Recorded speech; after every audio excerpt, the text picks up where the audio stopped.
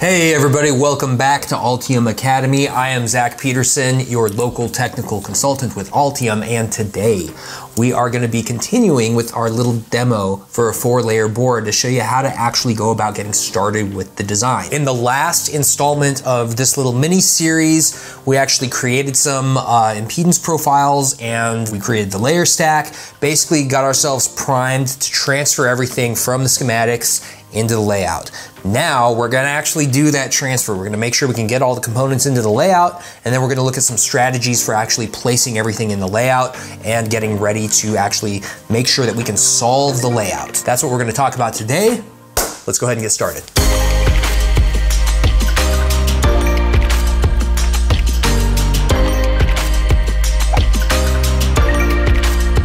I am back in the project here in Altium Designer. Um, just to remind everyone of where we were at, let me open up the PCB. I'm going to go into the layer stack manager and kind of just refresh everybody's memory.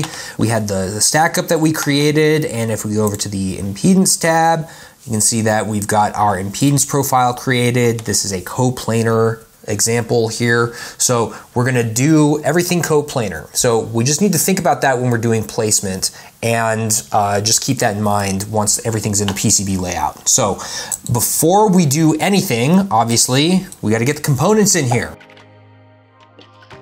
First thing that we're gonna do is we kind of can do this all at once with all the different schematics, or we can kind of go sheet by sheet.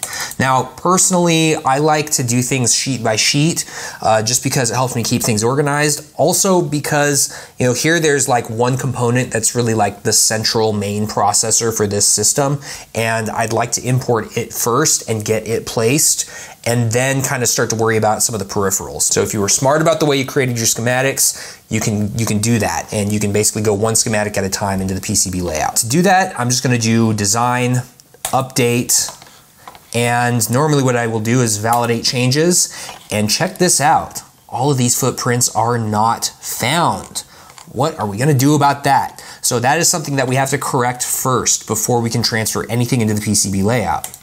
Now, thankfully, I was actually able to export some of the important libraries and then I can add these into the project. So I can just drag these over here and you'll see that they open up. But if I go back over here to the projects tab, I can just take these, I can drag them into my project.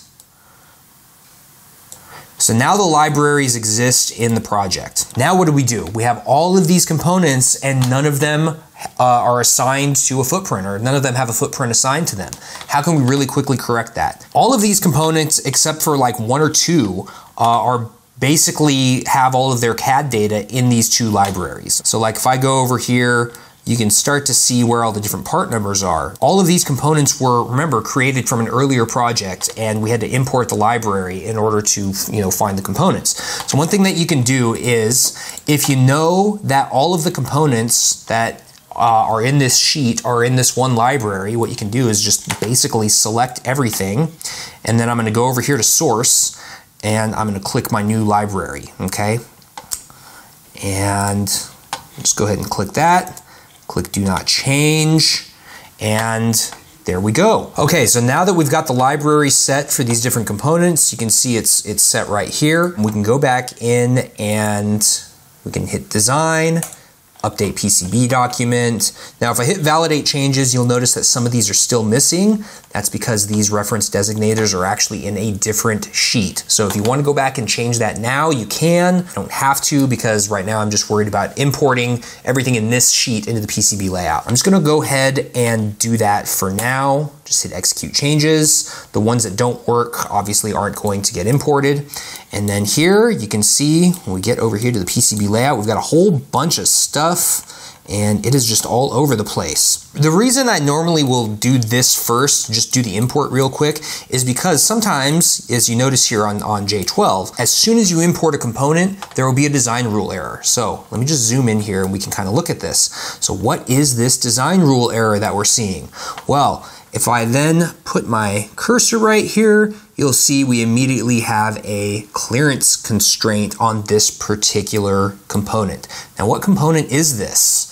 If we can go to 3D, we can actually look at it. You can see that this is a standard 10 pin header. So this would be your programming header that you would use. You would hook this up to uh, maybe like an SPI programmer, or you would hook it up to the evaluation board, or if you had like a USB programmer that had uh, one of these, these uh, pin header outputs, you would hook it up to that. And basically this would be what you would use to, to program the board.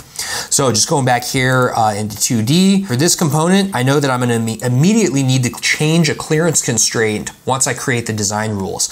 So most people will tell you, hey, you should create the design rules before you import anything. You can do the import first and just check to see if this happens and then immediately change the design rules from there. Okay, so that's what I'm gonna do now, is look at the design rules that I need to set. I'm gonna go into design and then rules. And now we can basically go through and make sure that we've set everything that we need to set to ensure fabrication capability and assembly capability. And then also now we can set a design rule for the impedance profile that we created previously. Let's do the impedance profile first, just because I know that uh, I'm gonna need to do it at some point. You would wanna set this to a specific net, and then as you, you know, kind of scroll through here, you'll immediately know that, hey, I've got a whole bunch of nets in here. Which net do I need to set this on? So if you go back into the schematic, uh, you'll notice here I've got actually a few different nets, right? I've got my ATX, ARX, and then my RFBG, okay? And then those go over here to this uh, schematic here, and then you can see the net names, are, or you can see the, uh, the nets are reflected here uh, in this portion of the schematic. So uh, let's go back over here to the PCB layout, go over to rules, and first things first, I'm gonna check the use impedance profile box and SC50 is the only one that exists. You know, you may have more than one, but you want to check that. And here you can immediately see we have ATX and ARX. And if we scroll down, we'll eventually find RFBG. So I'm just going to set this to RFBG. I can call this uh, width. Uh, we'll just call it uh, RF out. And if I wanted to, I could then create new ones that may have different impedance profiles for the other control impedance lines. And we have that now all set up and we're basically good to go. I'm just gonna do it on the RFBG for now to save some time, but you can do the same thing for the Bluetooth lines. Next, we have that clearance issue between the, uh, the holes uh, on J12. So that's another thing I'm gonna wanna check. Now, you know, this clearance issue you'll notice is between, if you zoom in here, you can actually see this. It's between the pad edge here that makes up this through hole that is going to be used to mount the component. That is the clearance constraint that we want to check. Now, if I go down here and I just scroll over here to top solder and I go to single layer mode, you'll actually be able to, you know, clear out all the other stuff in the layout and zoom in here, there's actually going to be a really small uh, uh, solder mask sliver here. One of the reasons for that is because if I just enable, you know, pad and via, my solder mask expansion by default is set to four mils. So that's fine for most through holes that are gonna have pretty big pitch between the pins. This is actually a smaller connector and that's one of the reasons that it triggers this design rule. So four mils may not be appropriate for this particular component. We could set this to zero and same thing here, we set it to zero. So we could actually do this for all the pads. And you know, you don't have to do it right this second. Um, you could set that in the design rule also. Um, you could do it just for that pad if you wanted to, but we can change that if we want here in the mask rule. You can go over here to solder mask expansion, You'll see by default, it just sets this to four mils. I usually just set it to zero mils. Um, again, this is, you know, the default is set to four. Uh, that's usually a little too big because it kind of creates those problems like that. Um, and then I'll hit apply. Now, clearances, we want to clear out that one clearance rule uh, that is creating this design rule error here. So we have a through hole pad to through hole pad violation here. Now, by default, everything is set to 10 here except for this bottom row. What I'm going to do is, just as an example, I'm going to change this to 8 mils, and then I'm going to hit apply and hit OK, and then you'll see immediately all of this stuff in this footprint got corrected and changed, okay? So this is a really quick way to just clear out any of those simple errors. And you know, the value that we set here in the design rules for through hole to through hole clearance of eight mils, that is totally within fabrication capabilities of pretty much every fabricator on the planet. So that is something that you can comfortably set. Now, the other clearances by default set to 10 mils.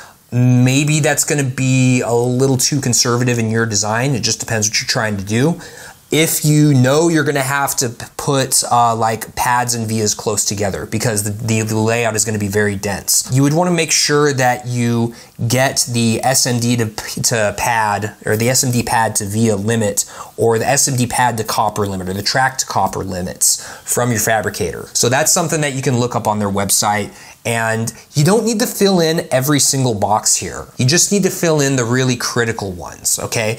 And it's usually gonna be three or four, and I mentioned some of them, like track to pad, track to copper, whatever it may be. Just fill in those because that's gonna satisfy a lot of the design rules that you need to hit. And once you do that, just go ahead and hit okay.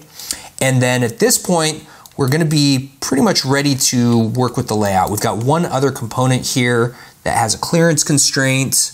Um, let's see what this is. So here it says,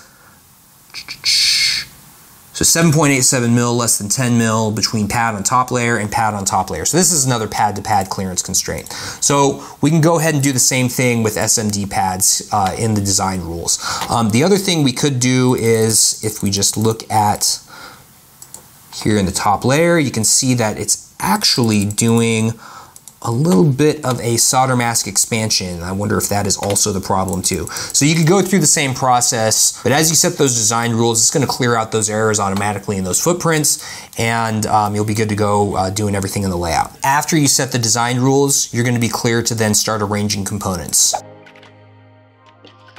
I'm going to go through and just kind of talk briefly about what the strategy would be to start arranging some of the components. And there are a few places I usually like to start. Usually, you know, working on client designs, uh, the client will tell me like we need to have uh, certain elements in certain places on the board. Perfect example is connectors. Like we want to have a connector down here at this bottom edge, and we want to have this connector at the top edge.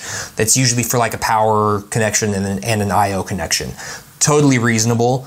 That kind of stuff you want to hit first, and you want to get that locked in place and then you can worry about placing the rest of the stuff in the layout so that it can actually be solved. Since we have a central processor here and that processor has an RF line associated with it. I actually want to place that first and I want to at least get the location and orientation set uh, so that I know where it's going to sit on the board. And so to do that, I just want to zoom in and I want to look briefly at the schematic. Actually here I can see the net name so I don't really need to look at the schematic but if you were in the schematic you would notice that the pin name is RFBG okay? And so you can see it right here. It's pin 31 and if I was going to put like the antenna let's say over here on the right then what I would want to do is actually rotate this bad boy so that RFBG is right here on the right facing the location where the antenna is going to be at. So what the plan would be here is to just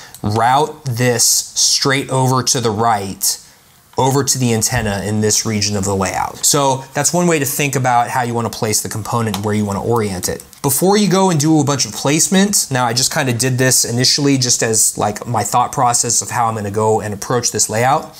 But once you have some of those ideas in mind of where you're going to place the critical stuff, what's next? We want to define the board shape, okay? So here what we see, this big black uh, region, this is just your default board. What we'd actually want to do is hit one, and then from here, we're in board uh, editing mode, and we can edit the board shape here uh, from inside here. So we can go to modify board shape. Um, I can basically you know draw out the shape that I want. Um, there are other ways to do it. So uh, we'll actually link to a video uh, in the description that shows you a bit more how to use the board shape tool. And that little tutorial will show you some of the features that you can use to actually define the board shape yourself. And you can actually get really creative with it. You can do circular stuff, you can do kind of cool curved stuff. You can pretty much program whatever you want into the CAD tool. Obviously, you want to make sure that it can actually be manufactured.